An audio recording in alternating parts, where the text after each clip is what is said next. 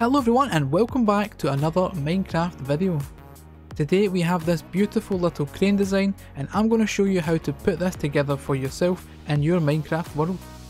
These are the materials you will need and I hope you do enjoy. If you do, please be sure to leave a like down below. Consider subscribing so you can keep up to date with all of my future uploads. So that all said, let's get into the tutorial. So the first thing we want to do is find a location for your crane. Then the first block you want to use is the stripped spruce log, placing that down 1 to 3 high. Take a barrel, place it facing upwards. Then we want 5 more of these logs. 1, 2, 3, 4, 5. Then another barrel on top, just like so. Then we take some stone and some cobblestone and make a base around the crane like so using some stairs on top of those and then finishing off with some slabs in the corners. On the block just below, above the stairs we want spruce trapdoors all the way around. The same goes for the one directly underneath the barrel at the top.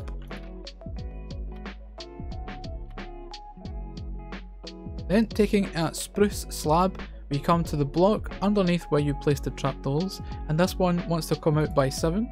1, 2, 3, 4, 5, 6 and 7. And this is going to be where the crane chain hangs down from and where you're lifting the cargo from. Then we want to place two blocks, or two more slabs, like so. A temporary one, another two like that. Another temporary block, and another one just like so. Then coming to the back we want to remove this trapdoor and replace it with a stair.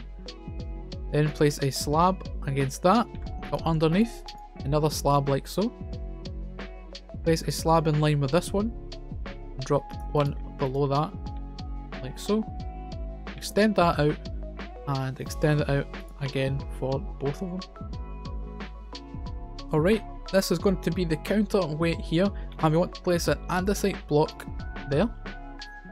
And the same on the other side. We want to place cobblestone walls on all four of the sides on both of these andesite blocks. Then take andesite stairs and fill in the corners on top of those walls, just like this. Then coming back in with your spruce trapdoor, you want to cover up some of these gaps like so. Place another slab under there and another few trapdoors just like that. Okay, time to add in some more of the details. We want a grindstone on this block and a upside down grindstone hanging from the end.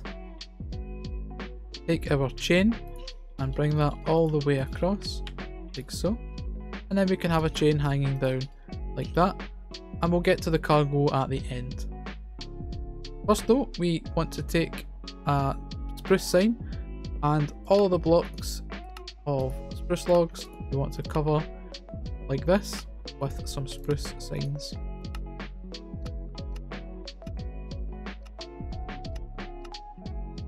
Now a spruce button and we want to place this on all four sides of the barrel, on the bottom and on the top.